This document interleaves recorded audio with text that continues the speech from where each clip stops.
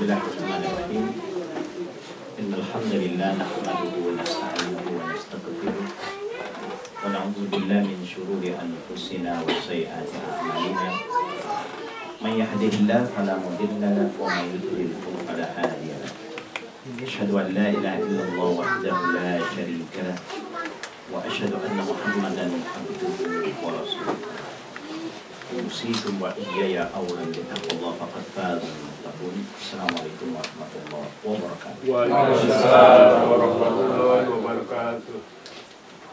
bukan Melayu anak kita nama ya. mau English kah atau bahasa Melayu Bahasa Melayu boleh.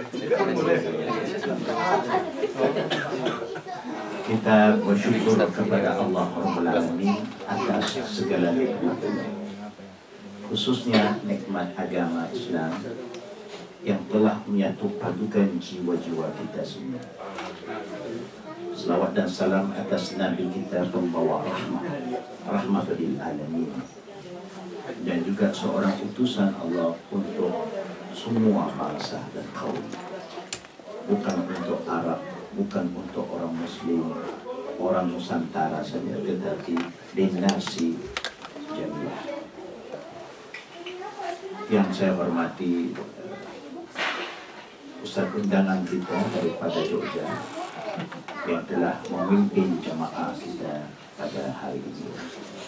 Bagi pihak Assalam Foundation, uh, Tuan Haji Wazir dan ahli-ahli jadwal kuasa, ucap ribuan terima kasih atas kesudian pihak kami untuk mengambil tempat ini sebagai tempat pertemuan.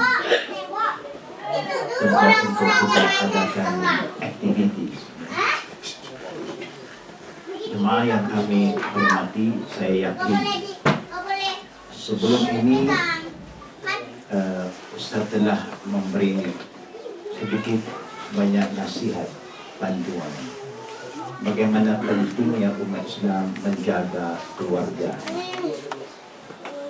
Kita sedar agama Islam ini agama yang sangat mementingkan keluarga bukan diri seseorang saja. Sebagaimana Allah ingatkan kita Ba'da billahi minasyaitonir rajim ya ayyuhallazina amanu qu anfusakum wa ahlikum Wahai orang beriman, selamatkanlah diri kamu dan juga keluarga kamu dari azab Allah. Tidak ada jalan yang lebih selamat untuk kita selamatkan diri dan juga keluarga melainkan dengan mentarbiahkan diri kita supaya nafsu kita ini tunduk kepada kebenaran. Nafsu kita ini mengikut wahyu tidak ikut nafsu tidak ikut pandangan dan pendapat. Tapi ikut wahyu Allah kitab Allah dan sunnah Nabi Muhammad SAW. Indahnya Islam satu-satu agama. Yang mana kita tahu sebelum Al-Quran ada juga untuk kutub kitab yang telah diwahyukan oleh Allah kepada Nabi sebelum Nabi Muhammad SAW. Tapi kitab-kitab itu semua tidak akan kita jumpa suatu ayat yang Allah berfirman al-yawma akmaltu lakum dinakum wa atmamtu alaikum ni'mati wa raditu lakum al-islam dinan ini hanya wujud dalam Al-Quran sebagai kitab yang terakhir kita ada Old Testament Torah New Testament Injil Last Testament Quran Artinya selepas ini tidak ada lagi kitab samawiyah. Quran datang untuk menyempurnakan apa yang belum disempurnakan. Jadi kalau kita ikut Quran dan Sunnah Nabi, sempurnalah Islam. Kalau kita tak ikut, tak sempurna. Bila Allah berfirman sempurna sudah perfect agama Islam ini artinya barang siap tidak boleh diubah sesuai tambah atau kurang. Kemudian Allah ajar kita pula Islam yang Allah redha waraditu lakum Islam dina ialah Islam yang Allah wahyukan bukan Islam ala kita. Kadang-kadang kita ya, Nusantara Islam ala Nusantara. Kita negara kami saja jiran Malaysia negeri-negeri sudah berbeza. Iya. kan? Mungkin ala Minang, ala Jawa, ala itu kata Islam tak ikut kita. Kita yang mesti ikut Islam. Tapi oleh karena kurangnya tarbiyah masing-masing mau Islam ikut Allah mereka. Di Cina saya sering ke dari Cina terdapat juga ada kumpulan Chinese Muslim lahirnya Muslim bukan dia pemeluk. Dia memang hal lahir sudah Muslim keturunan sudah ya, ribuan tahun mereka Muslim mereka juga kadang-kadang terbawa Islam ala Cina India Islam ala India kita kata Islam tak ikut sesiapa kita yang ikut Islam jadi Islam yang Allah reda ialah Islam yang Allah sempurnakan. Bukan Islam ala kita, ala sini, ala sana tidak. Lalu Allah jelaskan وَمَا يَبْتَغِي غَيْرِ الْإِسْلَامَ دِينًا فَلَنْ يُقْبَلَ مِنْهُ وَهُوَ فِي الْآخِرَةِ مِنَ الْخَاسِرِينَ Siapa masih pilih selain dari din Allah ikut kehendak masing-masing budaya masing-masing Allah jelaskan kalian itu kedalam Allah tak terlalu walaupun kita rasa apa salahnya walaupun tak ada dalil tapi apa salah kalau saya niatnya baik? Bila kita kata apa salah? Sudah salah. Agama tak ikut apa salah. Ada perintah silakan. Ada contoh dari Nabi silakan. Kalau tidak tauqifiyah berhenti di situ. Jangan ikut nafsu kita dan di akhirat Allah jelaskan kita ingat kita untung sudah banyak beramal tapi Allah berakhir dengan di akhirat mereka rugi karena amalan yang tidak cocok dengan wahyu dan sunnah Nabi yang sahih mardu dan ditolak Allah ada amalan yang dia terima, ada juga yang dia tolak. Setiap ibadat ada yang mengesahkan, ada yang membatalkan. Jadi Islam yang Allah terima, Islam yang ikut yang Allah telah ajar kepada kita melalui Nabi Muhammad SAW. Bukan menurut pandangan kiai masyarakat majority Lalu Allah Alamin juga ingatkan kita bagaimana pentingnya kita bertakwa kepada Allah. Sebab itu Rasulullah selalu ingat kepada umatnya ittaqillah. Takwa ini sering didengar oleh khatib-khatib guru-guru kita. Nabi juga wasiat dia yang selalu yang terakhir usikum bitaqullah. Saya mewasiatkan kalian jangan lupa untuk bertakwa kepada Allah. Cara yang paling mudah untuk menjadi seorang mutaqin telah dijelaskan oleh Nabi. Bila Rasulullah sebut usikum bitaqullah dia sebut as-sam'ah wa.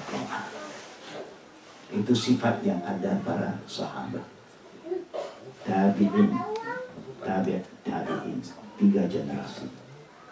Apa kelebihan mereka dengan kita? Quran sama juga, hadis sama juga. Mereka sami'na wa. Kami dengar dan kami patuh ikut.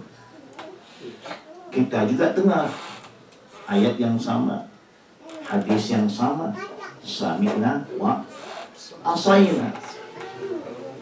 Kita tahu ini Rasulullah bersabda, ini firman Allah. Bukan tara ilmu, tapi oleh kerana kebiasaan mengatasi kebenaran. Adat istiadat mengatasi ibadat. Yang diperjuangkan ialah kebiasaan bukan kebenaran.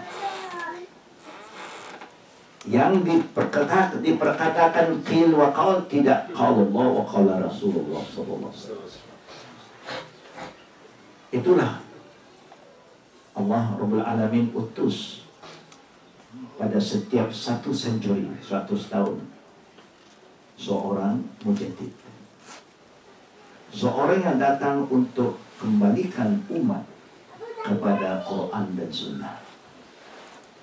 Walaupun dia akan dianggap ganjil kerana kebenaran akhirnya akan dianggap ganjil.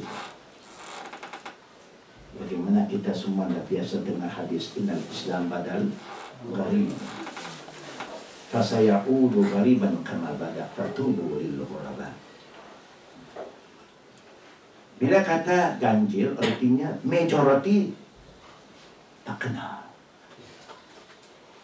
Contohnya Nabi pun bersabda Al-masjid gharibun fima baina qaum la yusalluna fi Bangunan masjid boleh jadi ganjil kalau dibina di kawasan yang adanya umat Islam tapi dia tak datang memakmurkan masjid. Dia jadi satu bangunannya eh kita punya kan ini shopping komplek kan kalau shopping komplek penuh orang datang ziarah. Kalau masjid kalau masjid orang Islam tidak memakmurkan siapa lagi nak memakmurkan contoh. Cuma yang kami hormati secara ringkas. Bila kita di Jepun ataupun Yaban, kita boleh lihat ya, ada banyak perbezaan. Segi sikap mereka, akhlak mereka. Akhlak-akhlak yang mulia dan karim ini, yang asalnya datang dari kita, kita tidak lagi menghargainya, orang lain ambil. Orang lain ikut, dia khas. Dia dihormati. Dia disegani. Itu sepatutnya kita ambil balik. Itu hak kita. Kerana Nabi telah bersabda, Innama bu'ithu liutamin makarul akhlak. Tidak saya diutuskan melainkan untuk mendidik, mendisiplinkan manusia khususnya umat Islam supaya dia milik akhlak yang mulia. Yang mudah hormat orang tua satu daripada seorang suami sayang seorang istri. Karena Nabi kata ya khairukum khairukum li ahli wa ana khairu li ahli Orang yang paling baik di antara laki-laki bukan kerana dia baik dengan teman-temannya. Tapi seorang suami yang sangat baik dengan istrinya. Contoh. Tengok yang dikatakan baik. Menurut kita lain ya. Oh saya baik sama majikan saya, sama teman-teman saya. Ya bagus. Tapi bagaimana perhubungan kamu dengan istri? Ah, istri kadang-kadang. Ah, tak boleh kadang-kadang. Istri itu yang paling hampir dengan kita. Kalau yang paling hampir kita tidak baik, apalagi yang jauh. Contohnya, tengok bagaimana adabnya Islam. Kalau yang tua dihormati, ya, anak-anak disayangi, ditarbiakan. Kalau anak kita belum sampai usia tujuh tahun dia tak sholat, dia tidak ada dosa. Tujuh tahun tak sholat masih tidak ada dosa. Sepuluh tahun tak sholat masih tidak berdosa. Dia hanya berdosa bila dia sudah akhir balik dia tak sholat. Betul. Tapi kalau kita tidak suruh anak kita sholat dari usia tujuh tahun kita berdosa. Bukan anak berdosa, kita orang tua berdosa. Kalau 10 tahun kita tidak ada reinforcement, kita lagi berdosa. Anak masih belum berdosa. Karena belum akhir balik. Kita berdosa kerana berdasarkan satu hadis kullukum ra'in wa kullukum mas'ul an. Kita adalah pemimpin bertanggung jawab tentang kepimpinan kita. Kalau Nabi suruh kita disiplinkan anak dari tujuh tahun, tujuh tahun sudah disiplin. Itu mudah. Waktu itu anak itu mudah dibentuk. Karena anak waktu itu dia fitrah, alamnya fitrah. Mudah meniru. Yang baik pun dia tiru, yang buruk pun dia tiru. Kita sebagai hero dan heroin dalam rumah. My father is my hero biasanya kan. Ada satu gambar. Ya, Jet Li dulu. Betul, kita tak sedar perbuatan kita, perkataan kita, antara kita sama istri kita ditonton oleh anak-anak tanpa kita. Jadi kalau kita berdisiplin daripada kecil, anak-anak lihat kebersihannya bagaimana. Saya agak heran bila saya datang di sini sejak 8 tahun dulu. Saya lihat keluarga orang Jepun. Usia dari tiga tahun anak sudah beradab. Tiga tahun. Adab, dia tahu kebersihannya. Dia tahu di mana nak susun kasutnya. Dari tiga tahun. Kalau dia jalan, dia lihat kotor mana, dia kutip. Dia buang di tempat yang sepatut dibuang. Dari tiga tahun. Bagaimana mereka bisa tarbiatan anak? Jadi anak yang berdisiplin dan kita gagal. Wah nilai itu ada pada kita. Kelemahan umat akhir zaman ini bukan kurangnya ilmu, orangnya komitmen. Tahu, dah belajar. Tapi komitmen itu kesungguhan itu kurang. Ala kadar, ala kadar. Bila ala kadar dia lebih banyak orang daripada ya, daripada ditambah. Belum terlewat. Ya, anak kita masih bersama kita. Kita perlu disiplinkan daripada rumah. Setiap hari disiplin mesti datang dari tua. Jangan bapak yang disiplin, ibunya koran. Ibu disiplin, bapak yang merosak. Kadang ibulah yang tahu ya akhlak anaknya karena anak tiap hari bersama ibunya. Bukan. Tapi bila ayahnya pulang, ayah bawa hadiah, permainan, korupsi, dia korup anaknya. Anaknya kata, ayah bagus, ibu tidak. Kalau anak itu bagus, anak ayah. Kalau anak itu nakal, itu anak ibu. Yang mengkorupsi anak kebanyakan bapak. Bapak tidak ada masa sama anak-anak. Dia kerja di luar. Ibu yang jaga. Tapi kita bawa hadiah. Bawa coklat. Biskuit. Bagus, bukan salah. Tapi kita kena tengok adabnya. Dia kata, ibu marah. Kenapa ibu marah? Masalah disiplin seorang bapak. Jangan campur tangan. Biar ibu yang mengtarbiah dan menjadi murabi. Bila anak tak dengar lawan di situ ayah masuk. Bila anak tak dengar kata-kata ibu arahan ibunya, waktu itu ayah sudah mesti masuk campur. Anak duduk sini. Apa yang ibu kata tadi? Apa yang ibu suruh kamu buat? Ini. Apa yang patut kamu buat? Ikutkan. Ayo. Jangan pula kamu kata, Asal kemari kalian anak. Itu ibu biar ibu lah. Ibu memang begitu. Nah, hancur. Semua perancangan ibu hancur. Dia sudah mau disiplinkan anak kita pula merosakkan segala perancangannya. Tak boleh. Bila anak sudah tidak dengar cakap ibu, di situ ayah sudah reinforce. Tutup sekejap. Tadi ibu cakap dengan kamu kan? Apa ibu cakap dengan kamu? Dengar tidak? Dengar. Bila dengar, lahum azan la yasma'una biha. Allah bagi telinga kamu tidak mau dengar. Walahum a'yunun la yubsiruna biha.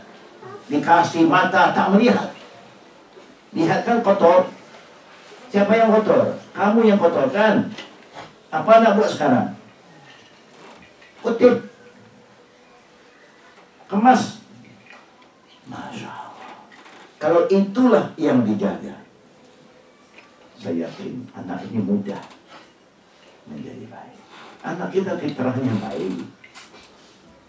Tapi oleh kerana kita pun begitu, takutnya kita sebagai bapak pun macam tu. Kita buang sini, buang sana. Sepatutnya kita kena kemas. Bila makan, pastikan bersih sebelum makan. Lepas makan, bersih juga. Contohnya, tandas. Kan? Tandas ini toilet ya. ataupun ya toilet ataupun bilik air orang panggil ya. Kalau bilik air di Jepun di sini selalu kering kan? Bilik air kita selalu apa? Basah. Kita kena kena bakar kita pun guna rasional kita. Bukankah ini namanya bilik air betul tapi air bukan di bawah, air di atas. Kita kena jaga disiplin anak seperti biasa. Waktu dia masuk kering, dia keluar mesti kering. Karena jadi air banyak accident. Kecil, licin, terpijak, mungkin out control, jatuh. Kenanya kepala, stroke, paralyzed, macam-macam berlaku kerana di air. Kami kalau di markas kami setiap air ada mopnya. Habis guna mop ambil ke. Kita pengen mop ya. Ah, Kain lap. Ya. Ya, kadang-kadang bahasa lain sedikit. Perlu, kerana apa perlu? Latih anak-anak kita kalau masuk tadi tandas kering tidak, bersih tidak. Bila you keluar, jaga supaya tandas itu kembali kering dan bersih. Tapi ini tidak dapat dilaksanakan kalau tidak ada sifat muraqabah, mesti supervise. Bila masuk, tengok. Keluar, tengok. Cek, tengok. Kalau tidak, panggil balik. Basah tidak? Bila basah, apa yang perlu? Kita perlu keringkan. Itu saja. Kalau kita sudah biasa, insya Allah anak kita pergi mana, dia akan disayangi orang karena anak kita mempunyai peradaban yang mulia. Dia mempunyai kepahaman kebersihan yang tinggi. Inna Allah yahabbul mutahhirin. Allah suka orang yang bersih. Orang yang jaga kebersihan. Contoh. Kita rasa kadang-kadang Contoh sudah ada yang baik depan kita. Kita lihat sendiri. Tapi di waktu yang sama, kita tidak dapat mengubah keadaan kita. Kita tak ambil itu sebagai satu pengajaran. Kalau orang lain bisa bikin, kenapa kita tidak bisa? Betul tak? Mudah tidak? Mudah ini kalau kita yang bermula Ibda min nafsi. Thumma ida mendah. Apa-apa bermula dari diri kita. Kita tahu apa yang terbaik. Kita yang lakukan dulu. Kita yang disiplinkan diri kita dulu. Contohnya Kalaulah Islam sangat mementingkan peradaban Bila mau masuk bilik ya, toilet ini Masuk dengan kaki mana? Kiri. Keluar dengan kaki mana? Kanan Kita kena selalu pasti tiba-tiba kita sudah kanan masuk dulu apa nama apa nama bila kaki kanan sudah masuk dulu biasanya masuk terus ya lain kali ya lain kali sudah belajar. Tidak disiplin, sudah ter kita kena reverse gear. Tarik balik, masuk kiri. Sekurang-kurang kita baca. Ya. Allahumma inni a'udzubika min al-khuthi wal kaba'is. Siapa yang ingat sama Allah, Allah ingat sama kita. Bila Allah ingat sama kita, kita ingat siapa diri kita. Wala takunu kallazina nasallah fa'ansahum anfusahum. Ulaika humul fasiqun. Bila kita lupa pada Allah, Allah jadikan kita lupa pada diri kita. I am a Muslim. Orang Muslim bukan hanya sholat saja, bukan hanya saum saja. I'm a daily Muslim. Saya makan cara Islam, saya minum cara Islam, saya masuk tanda cara Islam, saya berkata-kata dengan per- peradaban Islam. Tunjuk bahwa Islam is a way of life. Bukan just ritual, but is Islamic value. Supaya orang lihat, orang Islam memang ganjil. Karena dia ada satu identiti yang tersendiri. Peradaban yang begitu tinggi. Disiplin yang begitu baik. Memang orang akan ya, kepada kita. Orang akan tertarik kepada keindahan Islam bukan kerana kita kata Islam itu indah, tapi orang Islam itu tak indah. Orang Islam mesti buktikan keindahan Islam. Bukan melalui ucapan, pakaian, tetapi dalam akhlak kita. Disiplin kita. Supaya anak-anak kita pun besar dan suasana yang begini akhirnya kita dapat anak salihin dan salihat. Kita tak mau dapat anak. Nanti besar dia jadi anak yang tidak saleh, rugi kita. Sakit kita. Sakit. Sakit. Hatinya sakit. Hmm. Tapi insya Allah kalau kita didik dari awal, disiplin dari awal supaya dia ingat kepada Allah, zikir-zikir askar yaumiyah, zikir-zikir harian, supaya dia selalu connect dengan Allah, saya yakin kita tak akan menyesal. Kita akan bahagia dan mati pun husnul khatimah kerana kita tahu kita telah tinggalkan anak kita dengan tarbiyah al-islamiyah as-sahihah mempunyai akhlak yang baik. Untung anak kita kalau pergi rumah siapa dia tahu disiplin kebersihan. Orang ini anak siapa ya? Kan? Mana siapa? mana siapa? Oh nak pulang itu. Masya Allah orang tuanya tengok anaknya bagaimana akhlaknya suka kebersihan. Siapa yang untung? Anak kita untung kita juga untung begitu Islam bukan susah basic kita pergi kepada basic perkara harian kita lihat daripada makannya, minumnya, kebersihannya, masuk tandas, keluar tandasnya, semua kena didik anak-anak daripada kecil. Disertai dengan doa-doa yang diajar dari Nabi, Masya Allah anak kita satu hari. Insya Allah bila apa jadi pada kita, dia sudah ready. Kemudian dia pun nanti ada anak pula, dia kahwin. Akhirnya dia akan turunkan ilmu itu kepada cucu kita. Tengok bagaimana kesan. Ini pasti bermula daripada kita yang masih hidup sebelum terlewat. Lalu kita minta Allah anugerahkan kita zuriat yang tayyibah, yang baik, yang soleh, tapi tidak akan datang begitu saja kena ada sedikit usaha.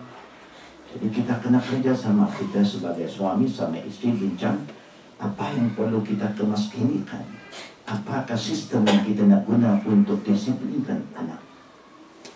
Itu semua kena rincang kena bersuara. Kita sudah ada suatu ya, persetujuan. Tentu tidak ada satu panduan yang lebih selamat daripada kembali pada wahyu dan sunnah Nabi Muhammad SAW. Karena itu Allah berfirman, "Laqad kana lakum fi Rasulillahi uswatun hasanah." Allah pun tak suruh kita ikut banyak orang, ikut satu cukup. Dia sebaik-baik contoh. Daripada kecil Rasulullah dikenali sebagai seorang amin, sadiq, tak pernah bohong, tak pernah tipu. Dari kecil. Amanah, jujur, sayang orang yang sebaya dengan dia anak-anak dari kecil. Kalau menjaga tak pernah tipu. Allah itu yang perlu ditanam. Hmm. tapi itu perlu Bapak main peranan kerana kita sebagai orang kita amir dalam rumah. Kadang Bapak sudah main peranan Ibu sudah main peranan Atuknya datang saya juga ada cucu ya saya tahu kan? Jumlah. kita sayang cucu lebih dari sayang anak sekarang. Datangnya cucu kita pun jadi orang mudah balik kan? Kita merangkak dari kita main sama cucu. Cucu memberi semangat kepada kita. Kita mudah kembali kerana cucu. Tapi jangan korak cucu itu. Hmm, bila mak bapaknya mau disiplin sokong jangan terus ambil ah jangan jangan keras ya.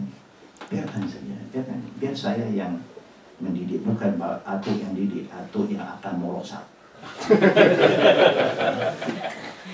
Ya, ini kena sepakat ini. Semua family kena tutup apakah sistem yang kita akan guna pakai. Ya, apakah uslub yang terbaik? Tidak ada satu yang lebih baik daripada ikut wahyu Allah dan sunnah Allah dan berita fa in tanaza'tum fi syai'in farudduhu ila Allah wa rasul bila kamu berselisih faham kamu ada nilai ini suami ada nilai yang lain ya, kemudian family ini ada nilai sama-sama kita kembali pada apa yang Allah perintah dan apa yang diajar oleh Nabi kita Muhammad win-win situation. Tidak ada siapa yang untung ada yang rugi saja semua orang sama di sisi itu harapan kami kepada ya, jemaah-jemaah di Jepun sini. Kerana Jepun contoh yang sangat saya senang bila datang ke sini. Kerana kebersihannya terjamin ya kan? Ya keamanannya kita rasa ya. Masya Allah negara kita itu semalam saya ada mencerita. Kalau Jepun ada orang tertinggal barangnya di mana-mana Insya Allah tak hilang. Kalau hilang bukan orang Jepun yang ambil, orang lain yang ambil. Amanah, Masya Allah. Itu dia belum kenal Allah itu. Kalau dia kenal Allah, Allah. Tapi satu keluarga Jepun pernah datang ke negara saya. Solat Jumaat di masjid yang indah. Keluar kasutnya hilang. Di mana? Ya, kasut dia gaib hilang. Dia pun terkejut. Eh, kenapa ya? Kalau di Jepun, insya Allah dia tak hilang. Kan? Jadi di negara yang majoriti Muslim boleh hilang. Yang Ya, oleh kerana kita sudah tidak ada sifat itu. Sifat amanah tak ada lagi. Jadi orang yang pergi masjid pun niat dia bukan kerana mau solat Jumaat. Niatnya mau cari kasut baru. Dia tinggal, dia tukar kasut. Ya, senang. Macam-macam. Kenapa ya negara ini yang tidak beriman pada Allah bisa mempunyai ya, sikap-sikap yang begitu negara yang kita cerita tentang Islam datang dengan niat mau sholat Jumaat ya. di samping itu nawa itu dia lain ialah kerana perkara ini tidak ditarbiakan kecil ini mesti kita serius terhadap ini. Tak boleh ambil ringan. Rumas dikomitas ya, mudah-mudahan kita akhirnya dengan Alhamdulillah ya. kita telah buat apa yang sepatut dilakukan. Kita adalah orang beriman. Orang beriman mesti beramanah keluarga satu amanah. Dan agama kita satu amanah. Kita Quran satu amanah. Sunnah Nabi satu amanah. Sama-sama kita jaga. Kalau ada masjid satu amanah. Kita jaga kebersihan masjid. Ya. kami selalu kalau orang datang ke tempat markas kita berulang kali kita akan memberi peringatan Kalau masjid ini contohnya kita letak kita banyak poster ya karena cakap orang lupa jadi kita buat poster buat peringatan apa yang boleh, apa yang tak boleh. The do and don'ts. Okay. Dalam masuk tempat-tempat musola, tempat-tempat yang sudah disediakan, contohnya karpet-karpet begini, sudah cantik. Makanan, minuman tak dibenarkan masuk. Kenapa? Demi menjaga kebersihan. Kalau mau makan, silakan ada kawasannya. Contoh, disiplin ini dijaga oleh kami. Nampak saja. Nah, anak, silakan. Silakan, anak suruh keluar sekejap. Siapa-siapa yang bertanggung jawab bawa anak itu kasih dia habis minum, masuk pak. Kenapa kita buat begitu? Kalau air mineral water kalau tertumpah ala kulli hal dia masih bersih. Mudah kan keringkan saja. Tapi karpet ini kalau dia tidak cepat dikeringkan bau. Ini semua disiplin tapi kita dalam saya bagi ingat kepada jemaah saya di negara saya masih terlupa. Bila terlupa kita kena ingat wa zakir fa inna zikra tanfa'al mu'min kita perlu selalu ingat demi kebaik disiplin ini disiplin. Bukan di sini tengok kan? Bila kita mau lintas jalan dia ada traffic light kan? Traffic sudah tak jalan kan? Tapi orang tunggu juga. Tunggu apa? Tunggu hijau. Kalau negara kita tak payah hijau hijau terus. Bukan. Minta hijau saya berhijau Ya, itu disiplin kita bukan. Tapi negara kita susah nak ikut pasal kita terbiasa. Di sini terikut. Karena semua orang juga buat begitu. Kita pun sabar. Ah, ini sudah tak ada kereta ini tapi masih merah. Boleh ikut? Boleh. Kalau nak lalu kan tak boleh. Tengok-tengok siapa itu? Bukan orang Jepun yang ini orang lain. Tak cantik kan? Apalagi pakai kopiah. Apalagi kita berjanggut oh ini teroris karena kita terrorize orang. Membahayakan orang lain. Mudah-mudahan Allah selamatkan kita. Allah mudahkan segala urusan kita untuk menghidupkan Quran dan Sunnah dalam kehidupan kita dalam family kita insya Allah ya. Bagi anak-anak ini masya Allah ya. Dia sedang mengikut ya apa yang saya cakap dia dia pasban ya. Alhamdulillah ya. Mudah-mudahan Allah pelihara anak kita semua dari segala fitnah dan jadikan mereka anak cucu yang saleh di masa Amin ya rabbal alamin. Wabillahi taufiq wa akhiru da'wana alhamdulillah. Assalamualaikum warahmatullahi wabarakatuh. Assalamualaikum warahmatullahi wabarakatuh. 本部。